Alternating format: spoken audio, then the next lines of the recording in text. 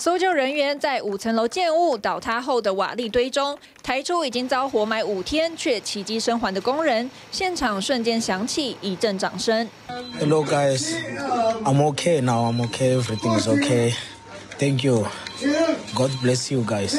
这名幸存者是南非开普敦乔治市的建筑工人。从监视器画面可以看到，他所工作的正在新建中的五层楼工地，周一意外倒塌，现场瞬间夷为平地，只剩下厚厚的尘土飞扬。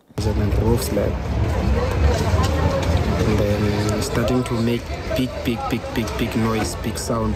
It's coming from down, and then the dust is coming up, and then no one can see. Just the building was starting to go, to go down.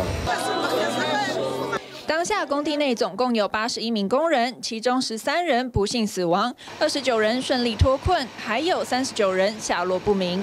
搜救队徒手挖掘，担心重机具进驻会误伤生还者。We're going to have to stop lifting the the structures off, so that's when we'll start bringing in cranes.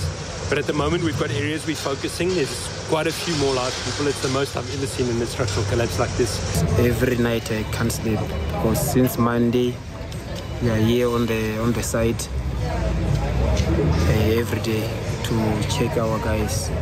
五层楼工地倒塌，事发五天后，搜救仍在进行，家属焦急等待。不过，这名工人能在遭活埋一百一十六个小时后奇迹生还，无疑是搜救队的一剂强心针。TVB 新闻综合报道。想看最完整的新闻内容，记得下载 TVBS 新闻网 APP。